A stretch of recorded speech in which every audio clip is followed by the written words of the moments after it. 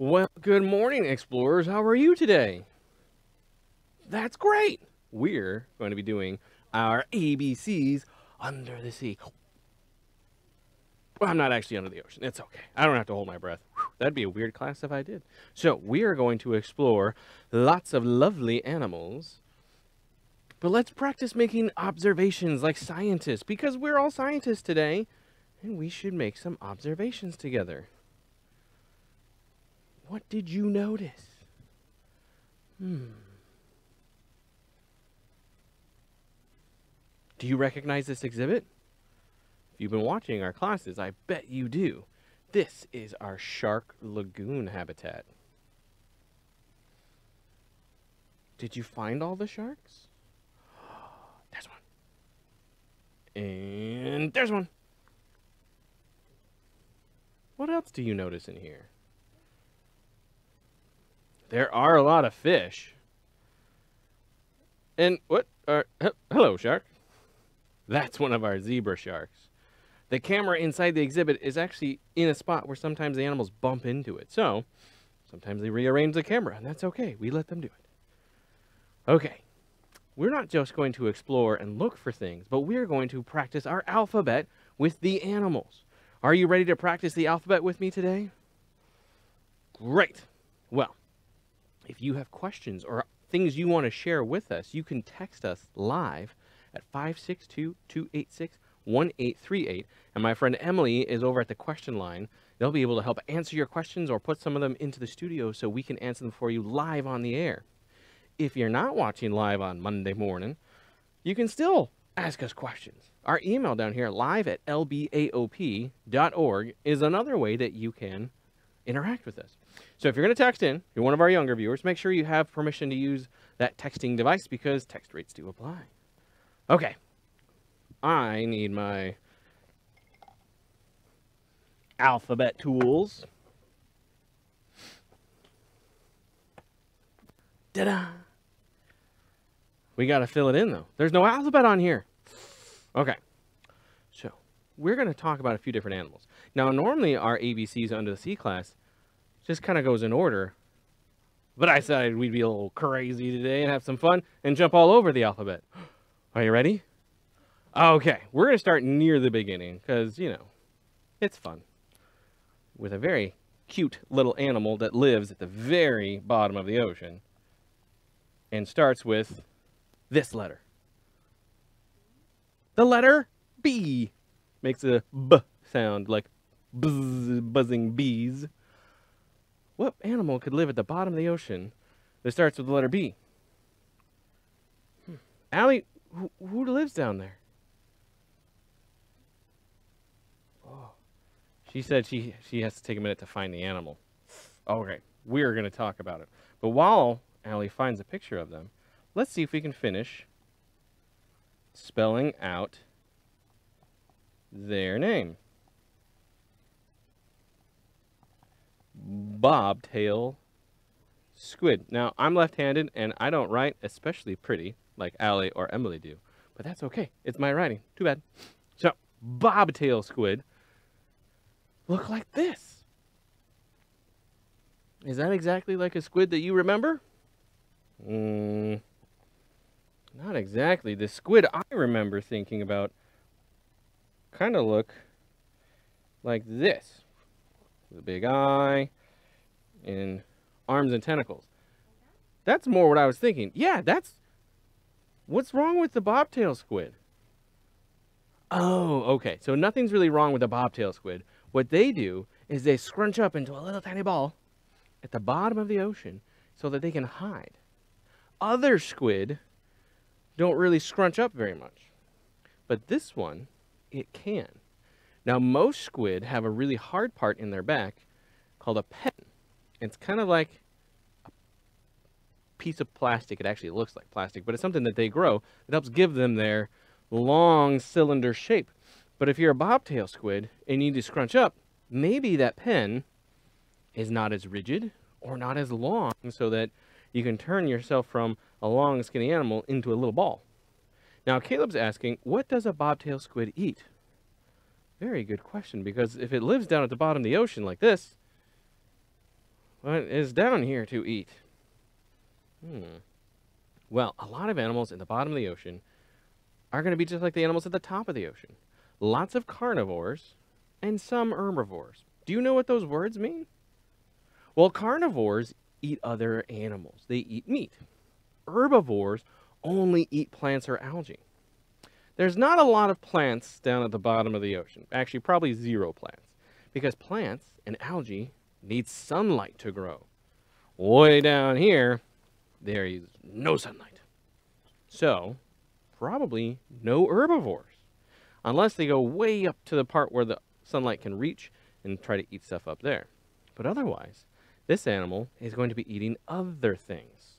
Things like crabs, maybe snails, maybe other fish. So squid have a really powerful mouth called a beak, and they can chew open things with shells.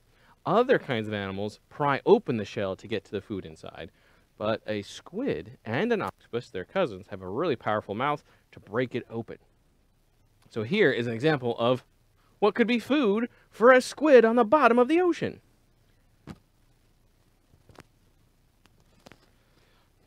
This really pretty crab has to protect itself so it doesn't turn into food. So all these animals have adaptations, abilities to survive that help them either find food or prevent from being food. But they can't be 100% successful because then nobody would eat anything. So that's okay. What does this animal have to try and eat with? They've got these really big claws, and they have special mouth parts that can tear apart their food. So we use tools to cut apart our food. But they, you can actually see those little mouth parts moving around. they have really powerful jaws to help tear up their food so they can chew on it. Their mouth is actually very, very small. I'd be much more concerned about getting pinched by a crab than uh, being chewed on by a crab. But I'm not really worried about either one because I don't really hang out with crabs too much. Okay. So the bobtail squid, now normally you won't see it doing this all the time, but if it's trying to not be seen, it'll hang out and hold still. When the deep sea uh, research vessel the which one? This was Hercules that found this one. When Hercules was able to find this squid, it was swimming around, and then suddenly it realized, "Oh no, I'm on camera, and I don't want to be on camera." And so it sat down on the bottom of the ocean and tried to be as small and invisible, invisible as possible. So the bobtail squid does swim around and look like squid a lot of the time, but if it's trying to hide, it's going to turn itself into a little ball. Now, if you want to watch more about the bobtail squid, the researchers on the EV Nautilus, the research vessel that found the bobtail squid with their remote submarines called Hercules and I just forgot the name of the other one. What's what's the other one besides Hercules? We all just had a blank moment where we can't remember the name of the other one. That's okay. So they have two, and Hercules was the one that found this one. Now scientists don't always know what some of these things are. So if they think they found a new animal, they have to try and take pictures, maybe collect one, and see if they can figure out who it is or who it's most related to. But a lot of things, they start to recognize what it could be similar to. So as long as they're still getting video capture of it, like the pictures and videos that they, they record while they're down there, they can start to learn more about these animals and name more unknown things. So these scientists are discovering new things all the time whenever they get to visit these deep, deep, deep ocean sections where the bobtail squid lives. Oh yes, Ar so it's Hercules and Argus. Hercules is the one with the big robot arms that does all the things. Argus kind of watches over Hercules. So that if anything happens, Argus can take over. But also so they can get extra video footage of what's going on. It's a pretty neat setup. So Oh, this one came from the Okeanos. That's not the uh, Nautilus, but the Okeanos is also a research vessel from NOAA. And they too have a lot of videos that they can show off. The Okeanos has a different web page. So if you look them up on the internet, you can look for the Nautilus and the Okeanos and learn a whole lot more about deep ocean animals. Kind of like the next animal I want to show you. This one is a really fun animal with lots and lots of legs. And a lot of people around here think they look kind of goofy. I think they're really cool because they're like my favorite land animal when I was a kid, the roly-poly. Did you know there's roly-polies in the ocean? There really are. Our next animal is going to start with the letter I. Maybe I need a thicker marker. Or I can make the letter that much thicker.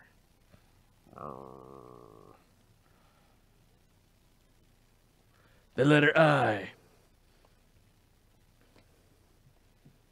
This animal is called an isopod. That's a very fun word to say, isopod. Let's take a look at them real quick. Ooh, they're so cute. I love isopods. A lot of people think they're kind of creepy. I think they're really fun. Now, roly-polies and isopods are close cousins. This one lives in the bottom of the ocean. Roly-polies live in your garden. So, an isopod is spelled this way.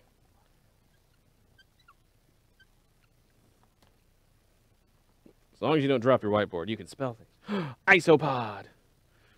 Now, in science, POD refers to feet. Remember, they have lots and lots of little feet. What else do you notice about this animal? Is there anything that looks familiar? Hmm. Well, I have a little isopod over at my camera off screen that we're going to take a look at. I have a lot of artifacts I got to move out of the way so we can look at our deep sea isopod. Okay.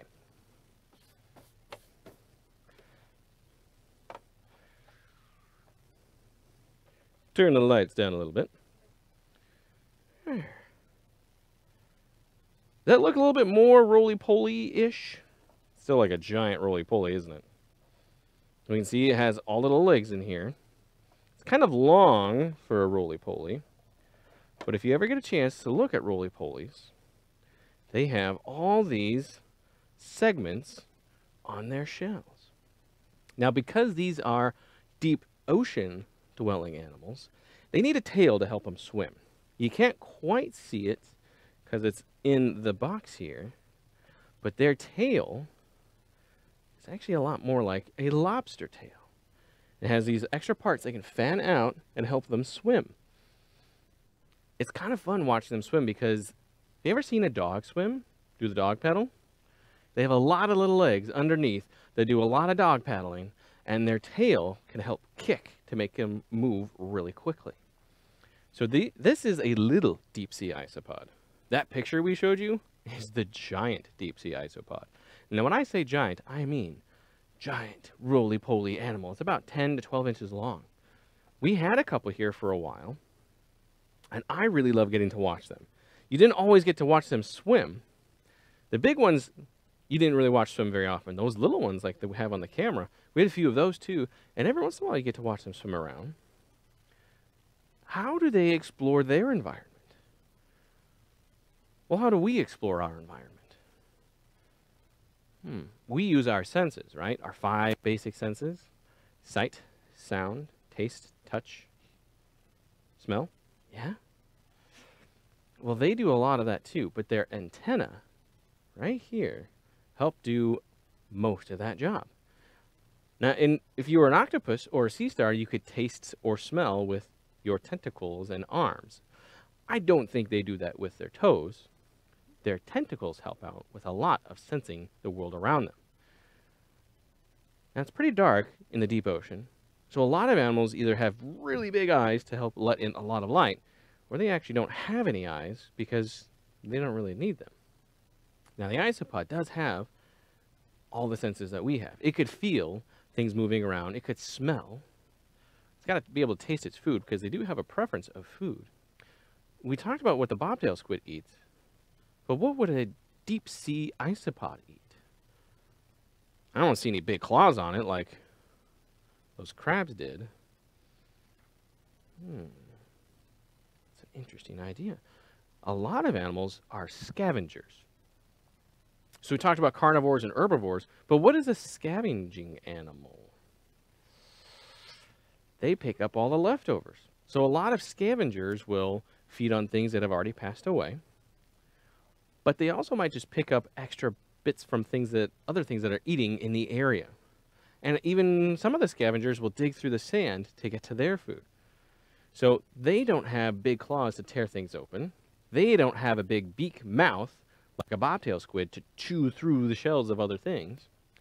So they probably are going to have to eat stuff that's already in the sand. I don't think they're going to be able to swim up to an animal and catch them. How fast do the dogs swim with a doggy paddle? Sometimes they can get going pretty good, but it's not super fast, is it?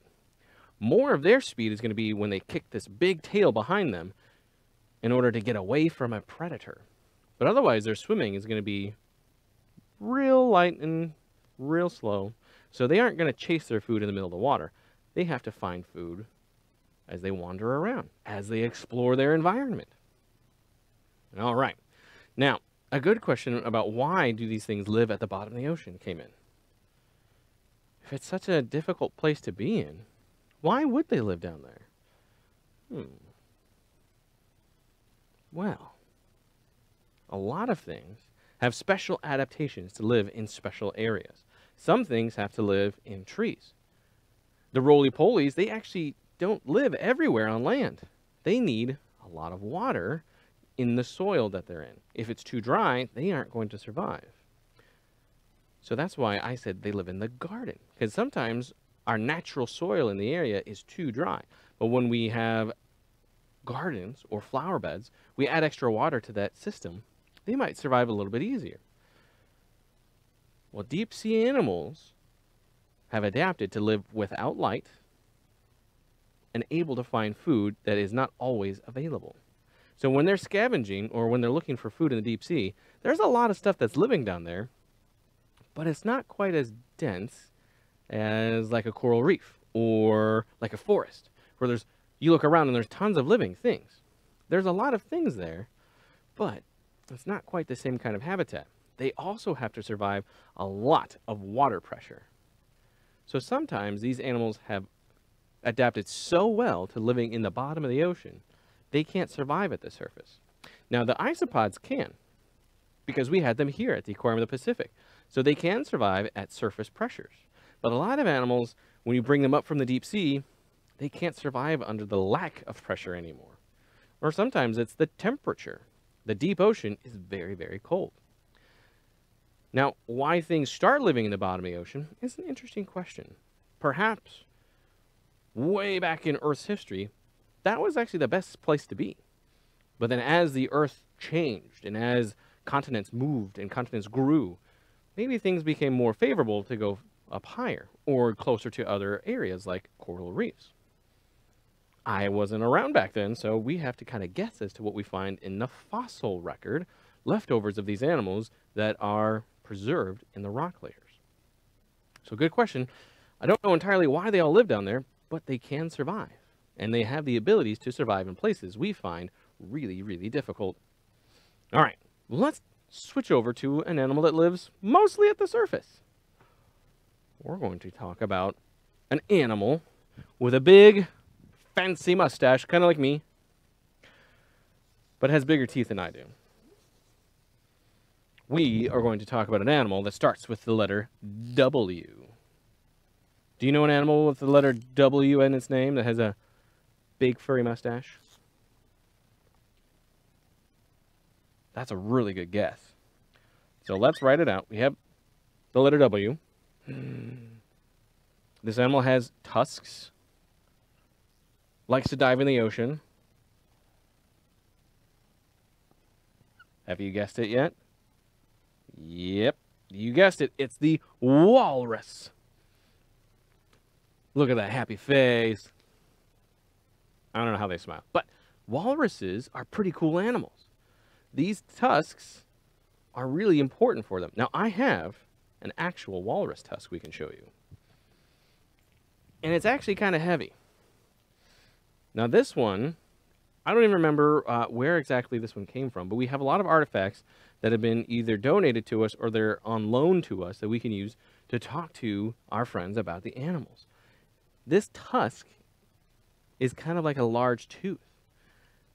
what would they need these tusks to do? Do you think they're stabbing their food with it? I don't know about you, but I don't like it when things are stuck between my teeth. That might be pretty tough to eat if it was stuck on your tusks. Hmm. What else could they use their tusks for besides chewing on things? Hmm. Finding food is a possibility. They'll use these big whiskery faces to look for their food, and they'll actually eat crustaceans and clams and things out of the sand. So they'll search for their food at the sea floor, dig it up, and these tusks can help with that. They also can use it to dig into the ice. So their tusks are a great adaptation for their environment. But let's talk about how they move and survive in their environment. Do you think that walrus is going to win very many foot races? No, maybe that's why they're not smiling so much, because they know they can't run very fast. But they can swim very, very well. While their bodies might be kind of clumsy on land, they're actually really, really great at swimming. They're related to the seals and the sea lions. There's only one modern species of walrus, but there used to be more. For natural reasons, the other walrus species have gone extinct. But we still have this one species that survives, and we can use the examples of the seals and sea lions to talk about the walrus too. So when we think about how they swim, how do you think a walrus swims? Let's go back to the picture of just the one wal walrus real quick. it's easy to see their feet. Well, Interesting. Now, we said that they can find their food on the sea floor, so they probably don't have to swim too fast to catch it. But how do you think they're going to swim? Let's think of their cousins, the seals and the sea lions. Sea lions swim by using their pectoral flippers. It looks like they're flying underwater, like this. They're very graceful. Now, even some of the biggest sea lions, which can be over a thousand pounds, are very graceful in the water. That walrus is many more than a thousand pounds. It's probably three to four thousand pounds. But they are still very graceful in the water. But their the sea lions and walrus's cousins, the seals, they swim a little bit differently. They don't have the big front flippers. They have little tiny front flippers. Seals use these to steer with, and they push with the back feet. Well, based off of what we can see, I would probably guess that because these feet back here are pretty big, they might do some combinations of work because their front flippers are not quite as long as the sea lions are. Now, I've never seen a walrus swim, but I'm going to guess use a little bit more pushing power from the back.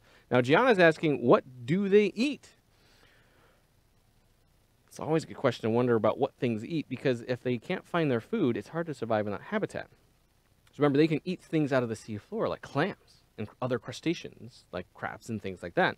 So they'll eat the mollusks like clams and the crustaceans like little crabs and things out of the sea floor.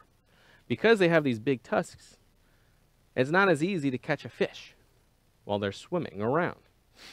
Their cousins, the seals and the sea lions, have a very different diet too.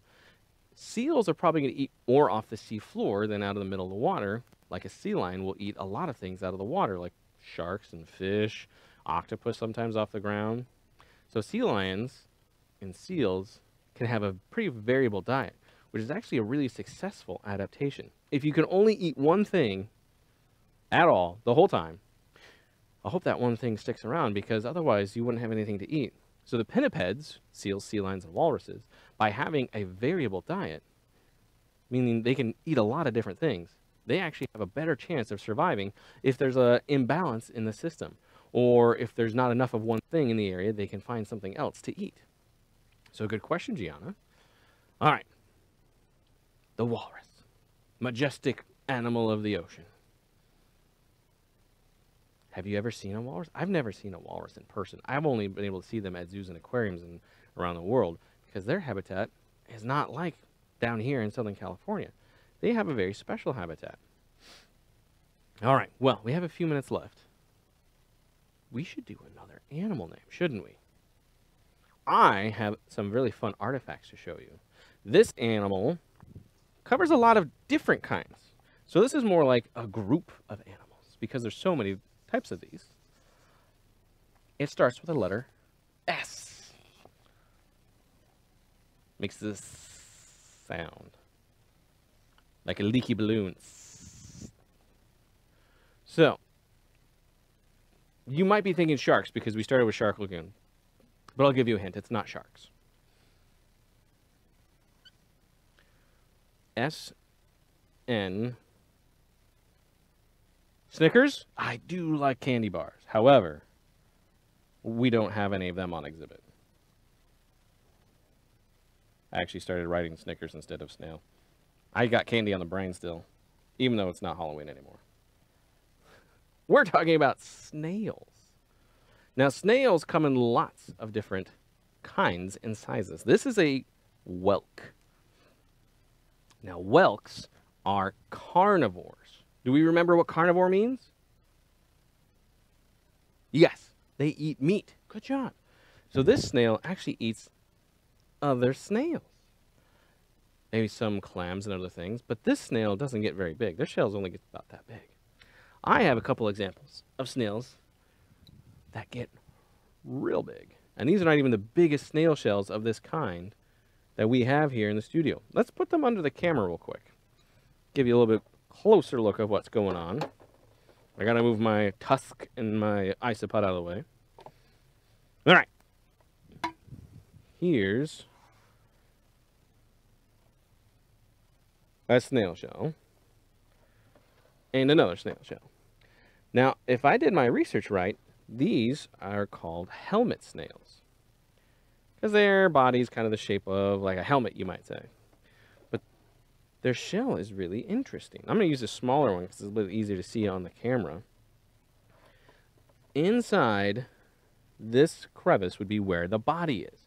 Now, snails grow their body and their shell like we grow. They eat nutrients and they can grow bigger. This shell is part of them, just like my fingernails are part of me. And only when the snail passes away is the shell left behind. Now, lots of animals use shells as a new home. Think of hermit crabs. Hermit crabs will pick up shells and use them as a temporary home. But they can't do that while the snail's inside because there's no room. Snails do not like roommates inside their shell. So that is what one kind of snail would look like. We saw the picture of that whelk.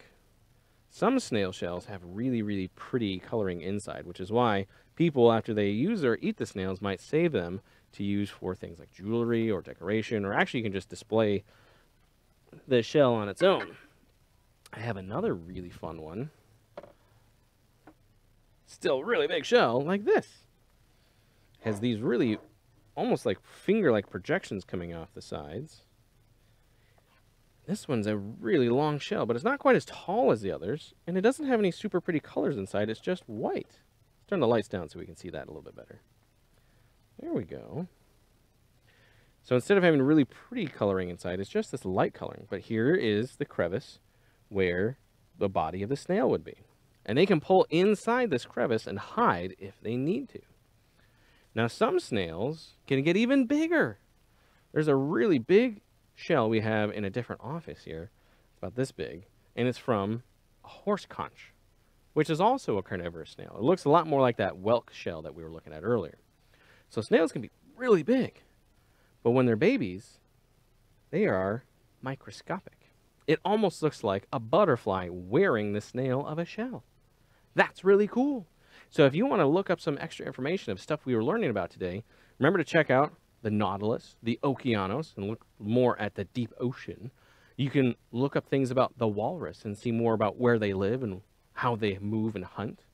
But you should also look at pictures of plankton snails because they're pretty cute. They're actually see-through too. So the pictures aren't going to look really pretty colored like this one. It's going to be a little bit different, but those baby snails are going to look really cute when you look them up. Well, that's all our time for today. Thanks for joining us for our ABCs Under the Sea and spelling and learning a little bit about some of our ocean friends today. We're going to be doing the invertebrate class next time. So at 10 o'clock, 30 minutes from now, learn about all kinds of invertebrates. Thanks for joining us on our Aquarium Online Academy.